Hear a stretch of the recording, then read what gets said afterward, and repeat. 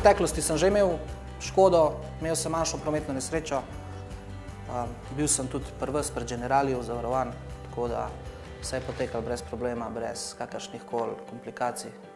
Vse smo zriteli na koncu, tako da super.